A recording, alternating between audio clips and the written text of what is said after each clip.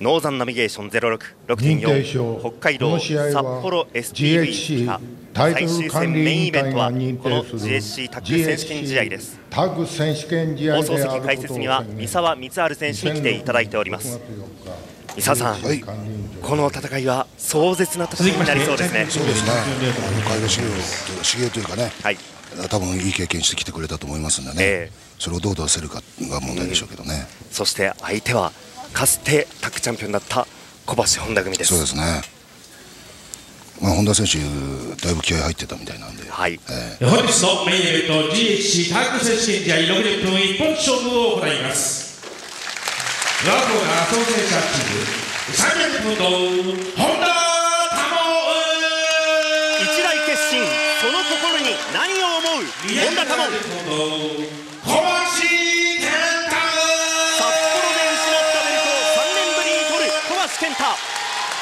浦学校が GHC 科学選手権チャンピオンチーム245ポンドモハメド・ヨーレベルトは小橋本田組の血を求めているモハメド・ヨネ。320ポンド森島武史ヨーロッパ遠征から凱旋タイトルマッチ。森島武史。GSC タッグ選手権試合。札幌では4度目のタイトルマッチということになります。3年ぶりの体感なるか小橋本田組。対して第11代 GSC タッグ王者が3度目の防衛になるんでしょうか。ヨーロッパから先日帰ってきました森島米組。その出発前からこの小橋本田組とのタイトルマッチを熱望していました。一方対するは小橋本田。本田は一大決心を胸にこのタイトルマッチに臨んでいます。さあ果たして先発は誰か？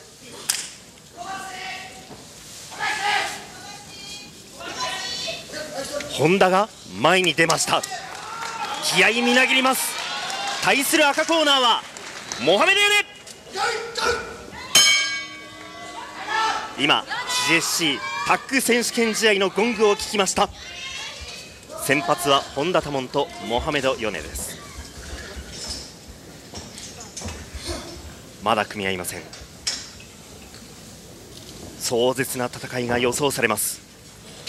いやしかしその壮絶は想像を絶するような戦いを意味するのかもしれません。静かな立ち上がりですね三沢さん、まあ、慎重ですよね、えー、両者とも。ただ本田多門が本当に先発を買って出ましたね。そうですね。あの気合がね見れますね、はい。一大決心を胸にこのタイトルマッチに臨んでいますこの本田多門。ただその決意の胸の内というものは決して明かしてきませんでした。タッグパートナーの小橋にさえそれを明かさなかったっていうのはどういうことなんでしょうね。まあぱりね頼ってはいけないと思ったんでしょうねタッグの試合としてもね。なるほど。自分が行かなきゃいけないというのは強いんじゃないですかね、今回は。なるほどね。2003年の5月にこの小橋と本田はタッグを組みました。そして6月6日のあの日本武道館で秋山斎藤組から GSC タッグのベルトを奪いました本田多門気合みなぎりますが森島武史は小橋健太を指名しました。この状況で本田多門はどうするか。札幌 STV スピカのお客さんは小橋コールを起こしています。さあ本田多門と小橋がタッチを交わしました。リング上は森島武史と小橋です三沢さん、はい、森島が小橋を呼び込みましたね。そうですね。この辺りはまあ森島も森島でえー、気合い入れてますよね、まあでも、はい、本番舐めてるとやっぱりね後で失敗しますよね。ああそうですか。水平チョップマシンガンチョップを受けている森島武史。強烈なマシンガンチョップがいきなり出ました。そして森島に向かってもう一度逆水平チョップニュートラルコーナー反対側に森島を飛ばしてそして小橋がキックで迎撃された。森島があー画面でキック勢いがあります。森嶋猛。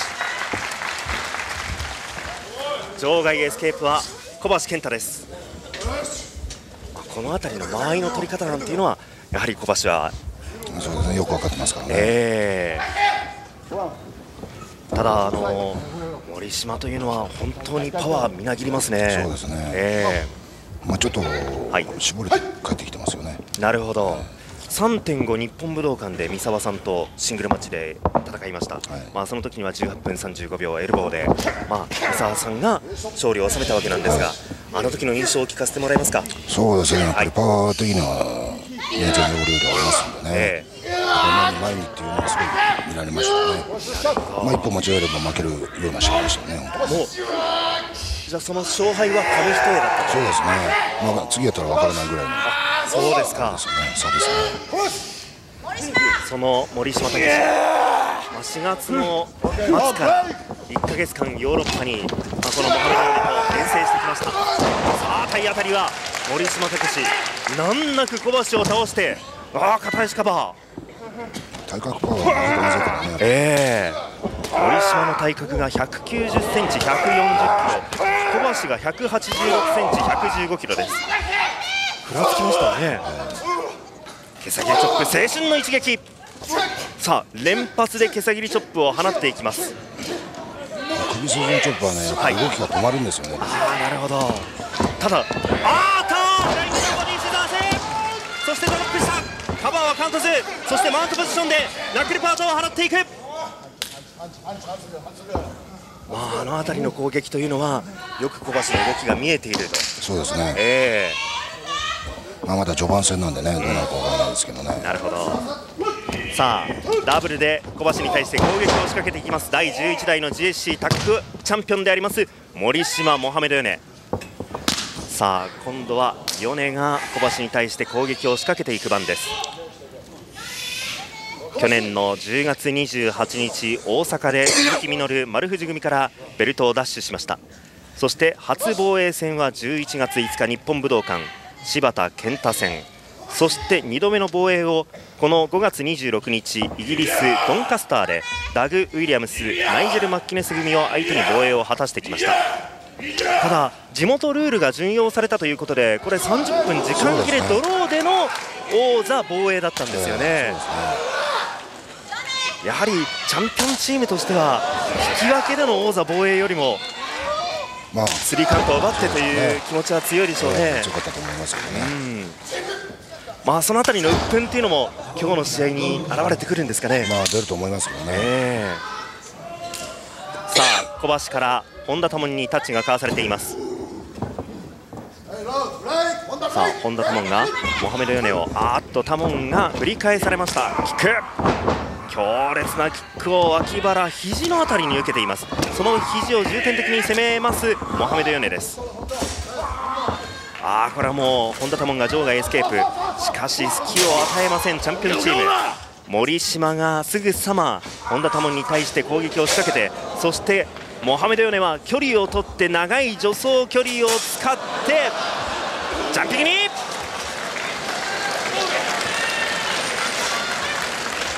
こういったあたりの連携なんかもうまいですよね。そうですね。えー、まあうまいというのが面白いですよね。えー、さあ森島も距離を取りました。そして森島がラリアット。勢いがありますこの第11代の GFC タッグチャンピオンあそこに小橋が行きます小橋が本田の窮地を救いに行きますがその動きもよく見ていましたモハメド・ヨネそして森島武史今度はその2人が小橋健太に対して攻撃を仕掛けていきますさあモハメド・ヨネが再び長い助走距離を取ってそして小橋に対してジャンピングにさあゆっくりと花道歩いていくのは今度は森島。さあ森島が小橋に向かって何を見せるかヒップアタック！140キロの体格それを十分に使ってますね。あの以前と比べてこの森島武史怖さがみなぎっているという感じがするんですが。そうですね。見られますよね、まあ、自分の体を上手に使ってますんでね、えー、さあそのチャンピオンチームであります森島武史モハメド・ヨネがリング上に本田友を戻してカバーは貫突。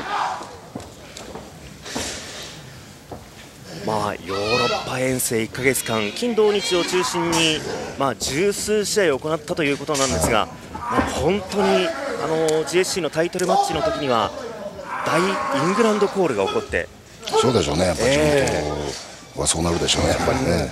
かなりアウェーの中での戦いということだったらしいんですが、まあ、粕谷美沙さんもヨーロッパに遠征されましたけれども、そうですね。えーあの時はいかがでしたか？そうですねまああのやりやすかったといえばやりやすいですけどねまあお客さんがあの本当にね自分たちの楽しもうっていうようにして見てくれてましたね。なるほどね。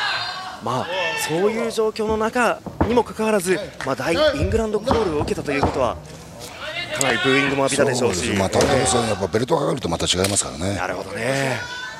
そういう厳しい戦いを経てこの3度目の防衛戦をこの札幌で迎えています。ですから森島が言っているのはそういう厳しい中で試合をしてきたので精神的にもかなりタフになったと、まあそれはあるでしょうね。ええ腕をうまく使ってそしてため技に入りましたこの森島武史です。このピンチを小橋健太が救いに行きます。まあ、小橋本田組といいますとあの小橋が GSC のヘビー級のチャンピオンだった時の初防衛の相手が本田多門でその直後からタッグを組み始めました。もう3年の時が流れてるんですね。そうですか。ええそして2003年の6月6日に日本武道館で第6代の GSC タッグチャンピオンになりました。さあ一手がおっと左腕に向かってギロチンドロップです。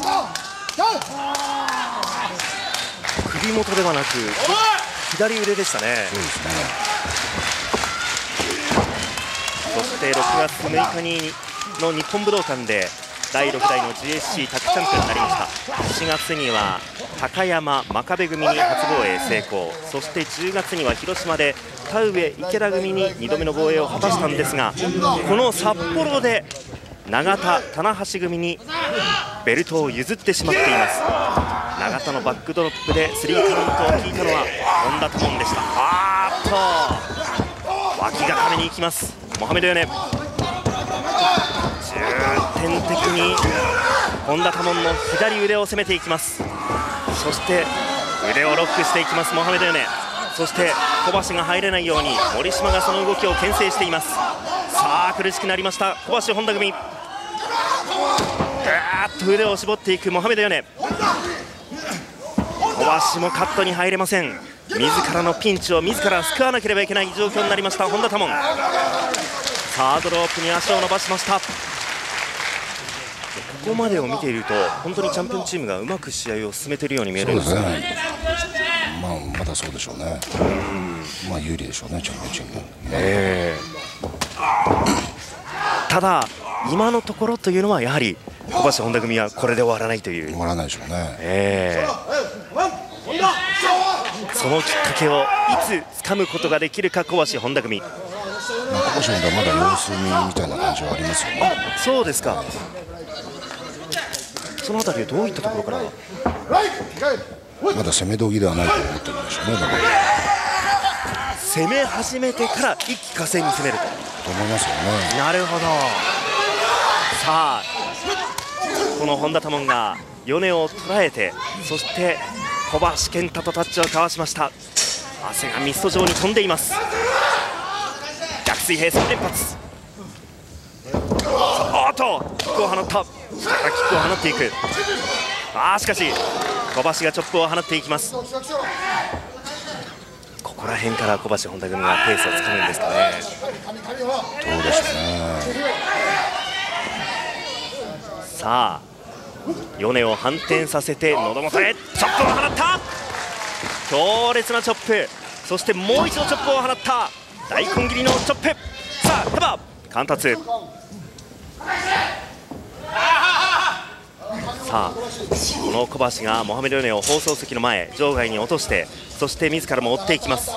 さあ放送席の前で逆水平チョップ。そしてモハメド・ヨネを鉄柵に振り飛ばします。脇腹のあたりを鉄柵当てましたモハメド・ヨネ。そしてもう一度逆水平チョップ。鉄柵の外1回転モハメド・ヨネ。そのモハメド・ヨネの頭を捉えてそして鉄柵の中まだしかし場外戦を仕掛けようというのか。今リングに戻します小橋健太。赤に入った。この小橋健太は去年の11月から半年間も GSC タッグのベルトの防衛戦が行われないことにベルトが泣いているという発言もしました。さあ毛先りチョップ。そしてここでバックドロップとチョップを落としました。さあカバーに行った。さあ森島が、うん、カットに入る前に米が肩を上げています。さあ米はここは場外エスケうまく逃げましたね。はい。ここはうまく逃げましたね。ああそうですか。一度流れが青コーナー小橋本田組に行きそうなところで少し間を置いた。そうですね、うん、逆水平チョップ。しかしそこで待っていたのが小橋健太。その逆水平チョップです。まあそこら辺は計算外でしょうねでもね。なるほど。さあエプロンサイドでぶっこ抜くか。ここはエルボーで切り抜けました。米。しかしラリアットかわして肩肩固めに入った。そしてあーっと宙づり宙づりでの肩固めここはもうすかさず森島がカットに入ります。危ないところでしたチャンピオンチーム。さあその森島には小橋健太が行きます。さあ場外で小橋が森島に対して逆水平。そしておっと森島が振り返そうというところ。あしかし小橋の逆水平を受けてしまいました。そして場外では筋肉バスターこれは効きましたね。そうですね。さあ鉄柵の外に森島が小橋を持っていってそして壁に強打させましたさあ場外で森島と小橋がやり合っていますまあその辺りもやはり森島の気持ちがこういう行動に出るわけですね。そうですね。本田選手ちょっといらしたところあると思いますね。あなるほど。あっと森島は鼻から大流血です。口ですかね。鼻ですかね。あるいはもしかしたら鼻口両方を切ってしまっているかもしれません。さあその森島が本田智のところに近づいてきてそして筋肉バスターを場外で受けた本田智に対して攻撃を仕掛けようというところ小橋は場外で森島にやられたみたいですからまだ救いに行くことができませんそして本田多門を場外に戻してそこにモハメド・ヨネがカバーに行きます。ちゃんと入る。左肩を上げました。本当はちょっとダメージ大きいですね、えー、そして場外で小橋もこれダメージ多そうですねそうですね。小橋が早く戻ってこないとませんよね、えー、あしかしリング上では本田多門が捕まっています。この窮地を小橋健太はすぐに救いに来ることができるか。あーっとロープに振られたんですがもう動くことができません。膝から崩れました本田多門森島にはチャンスなんですけどね、えー、さあ今度はミドルキック胸元へ。3連発小橋が帰ってくる前に、はい、大きい技で仕留めたいところですよね。なるほどね。そしてダブルでギロチンドロップそしてエルボードロップ。さあカバーにいった。なんとかどうだ？なんとか左肩を上げています。一大決心をしてこの試合に臨んでいる本田多門。ここで敗れるわけにはいきません。さあニュートラルコーナーに振られました本田多門。そしてん？森島が本田多門を担ぎ上げます。肩車で担ぎ上げてそこにニュートラルコーナートップに登っていくのはモハメド・ヨネ。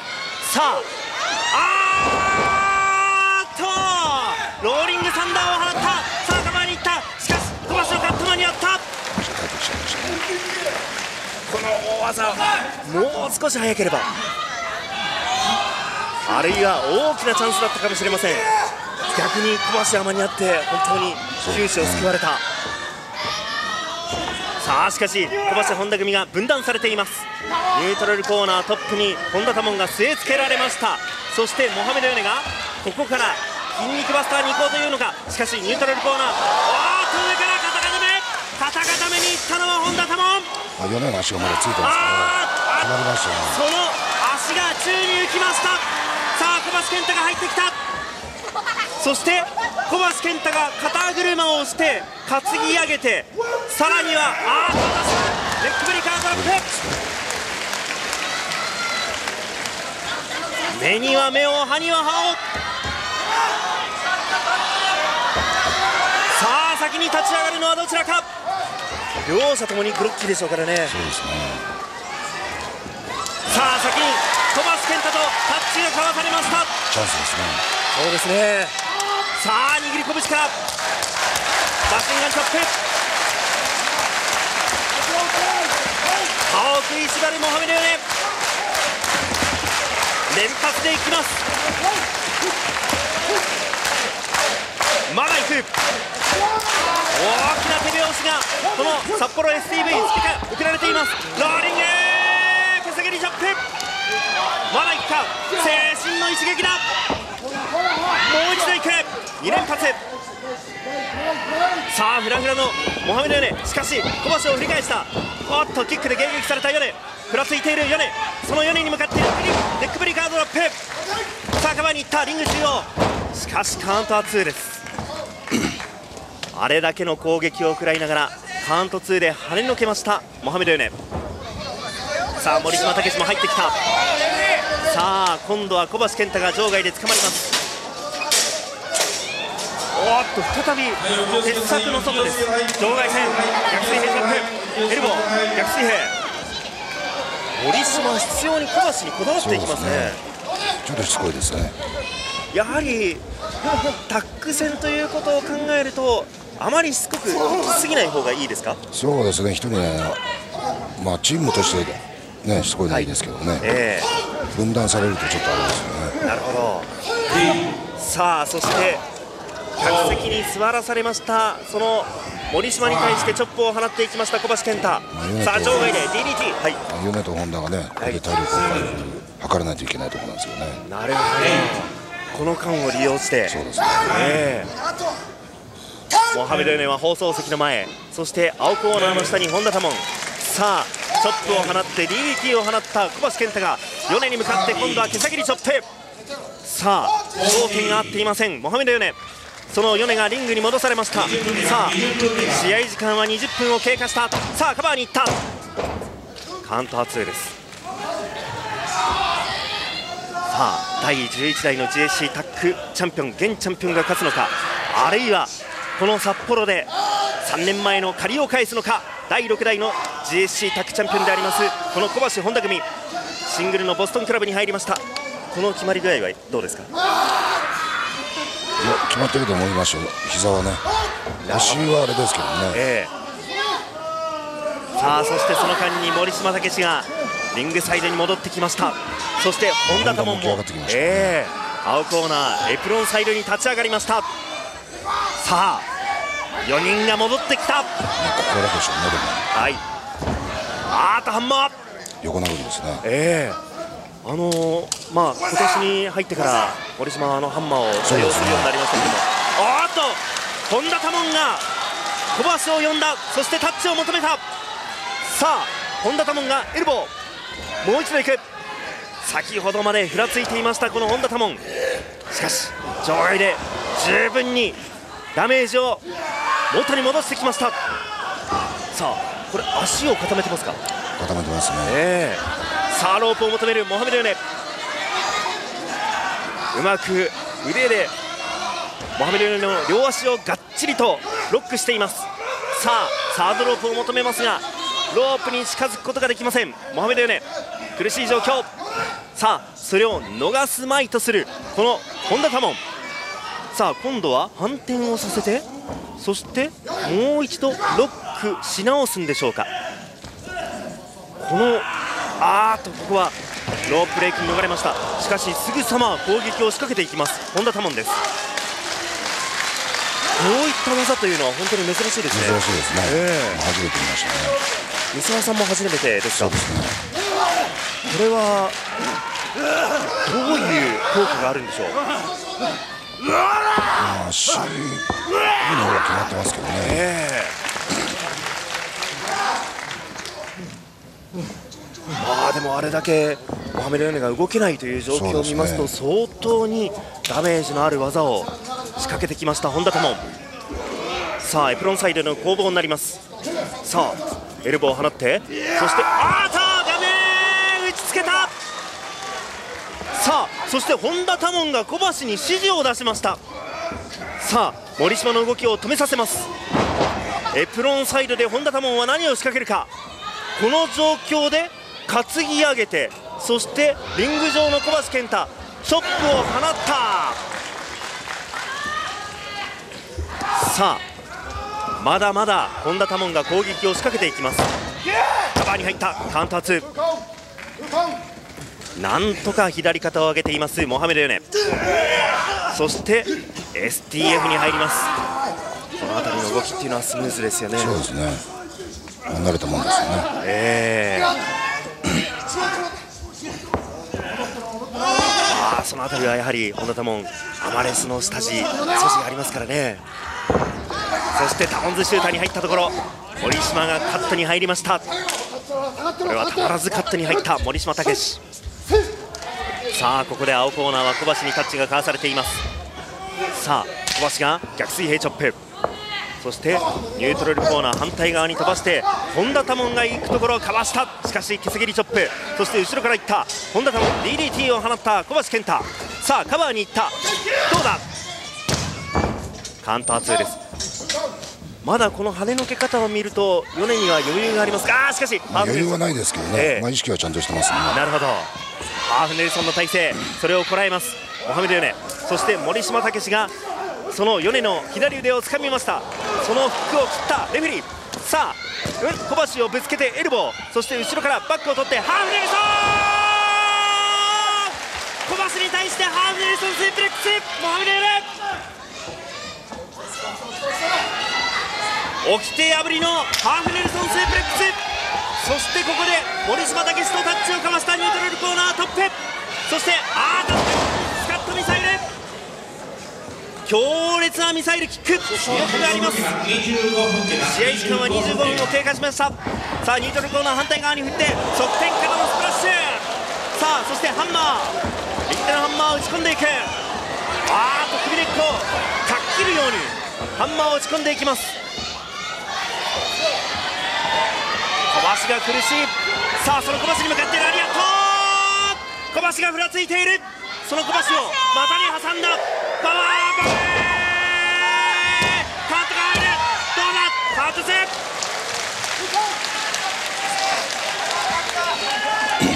このパワーというのはものすごいですね。そうですね、まあ、攻め時ですねここはでも。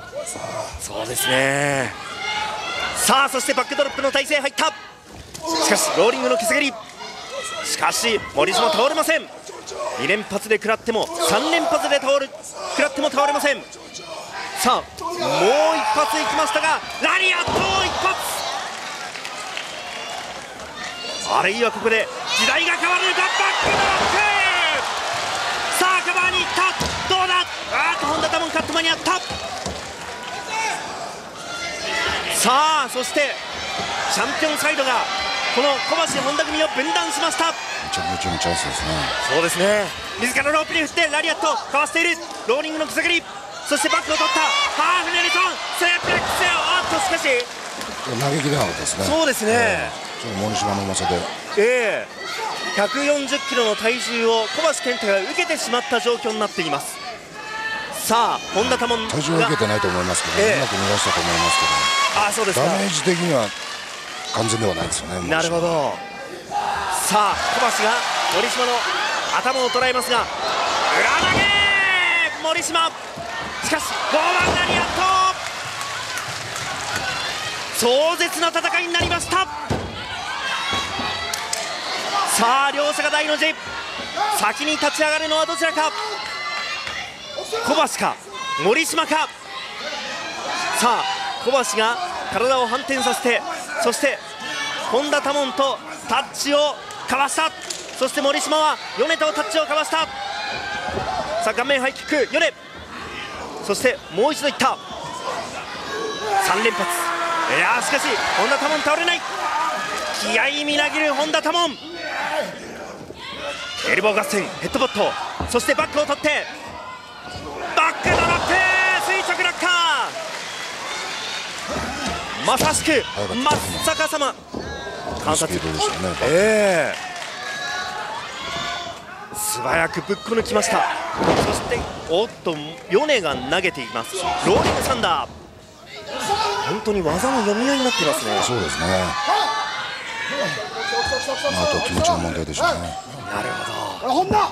まあ先のツアーでこの GFC タッグのタイトルマッチが行われるかと思われたんですがその時には本棚が王座奪回に向けてまだ気持ちを高めている状況だと言いました、しかし今ツアーはもう小橋さんに火をつけるんだと。そういうようなことを言って小橋をある意味で引っ張ってきてこのタイトルマッチに臨んでいます。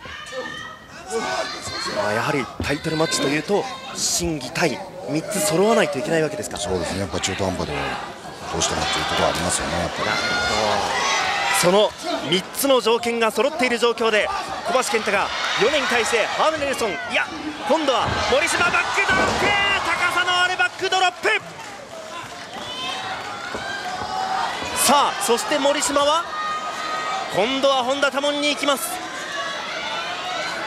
さあ米とのダブルで攻撃を仕掛けようという現チャンピオン。クを放ってサンドイッチのラリアット。後ろに倒れました本田タモンカー2カウンターでなんとか肩を上げています。さあ森島は小橋健太に行きました。再び分断した。後頭部円髄切り。そして本田タモンを反転させてそして片指固めどうだ？おっと！まだ肩を上げます。3年前の札幌の悪夢。再びスリーカウントを聞くわけにはいきません。本田サモンさあニュートラルコーナー反対側に本田が飛ばされた。ローリングサンダー。さあそして再びニュートラルコーナートップに。本田タモンが据え付けられました。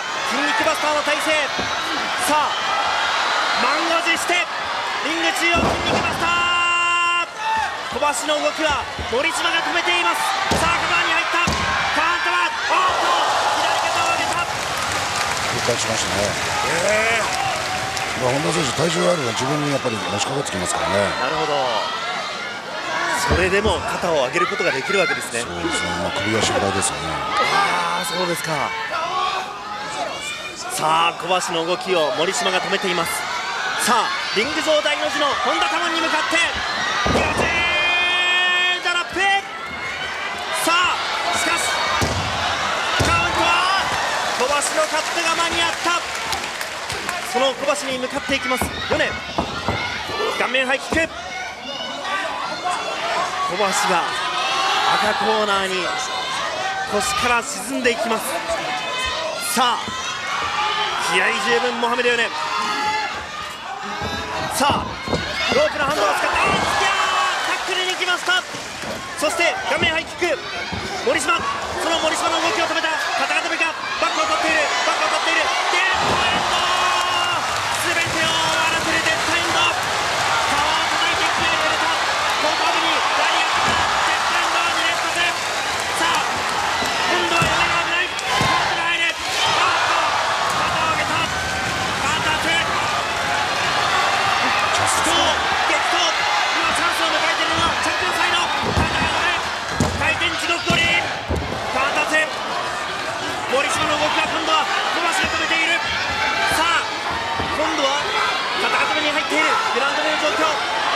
ッと絞っていく選手の技きついですからね。そうですか2003年6月6日日本武道館あの時 GSC タッグのベルト。をつかみました今度はこの6.4札幌で再びあの GSC タッグのベルトをつかみ取ることができるか小橋本田組さあカバに行ったどうだああ出してましたね本田もここで休んで出ないんですね、あれだけの技を受けながらダメージを負いながら今そのベルトを掴むために必死の行相再びデッドエンド掴み取れた。あの金色のベルトを掴み取るか？ロープを掴んだ。飛ばしがローリング毛下げにでッっしてデッドエンド投げっぱなし。さあ森島の動きは来ました。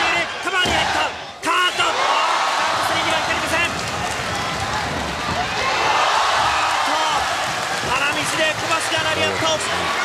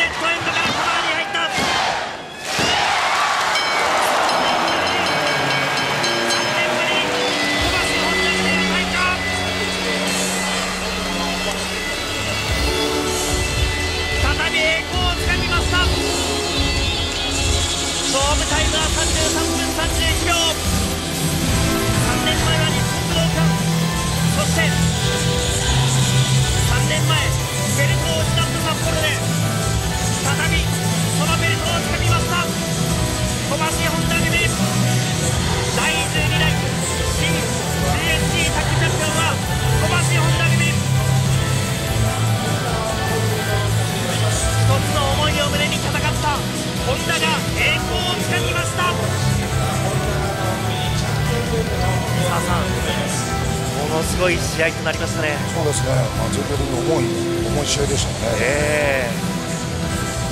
ただ勝ったのは本田友の気合ですか。そうですね、最終的にはそうなるんでしょうね、やっぱり。がっちりと。まあ、紙一重でしたね。はい。本当にそうですね。がっちりと抱き合いました。小橋本田組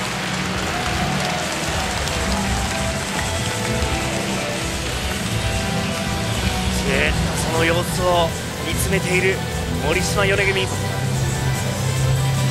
今再び札幌で止まった GSC タッグ王者のその時を今進めることができます。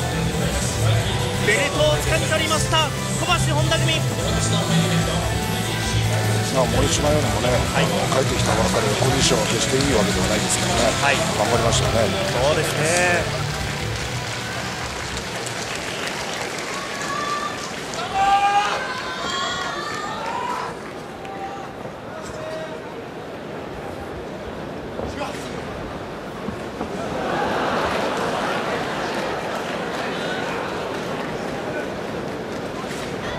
札幌の皆さん新チャンピオン誕生小橋本田組です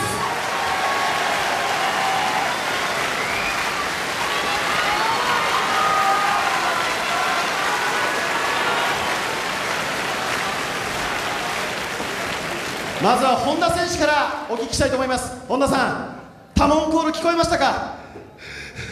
聞こえました。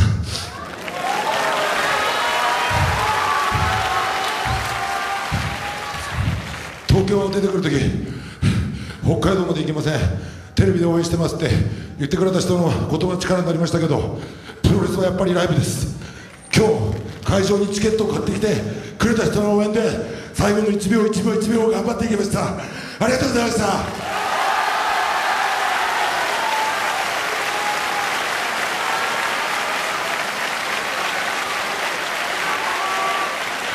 本田さん調印式の時には語ってくれませんでした。今だから教えてください。今日このリングに上がる時どんな決意で上がったんですか？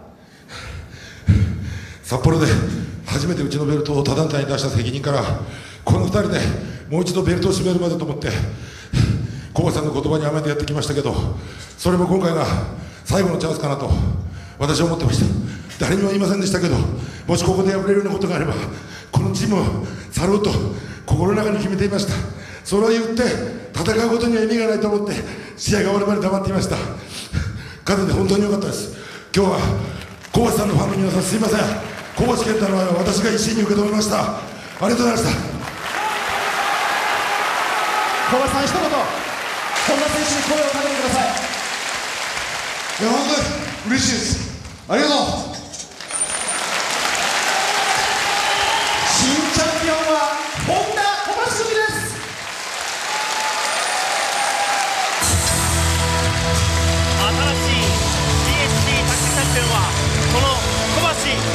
3年前札幌で止まった時を再び今日進めることができます。三沢さん、はい、本田多門選手にはあれだけの思いがあったんですね。そうですね。やっぱり強い思いがあったんですね、うん、まあちょっとちょっときましたけどね、えー、まああの勝ててよかったですよね、う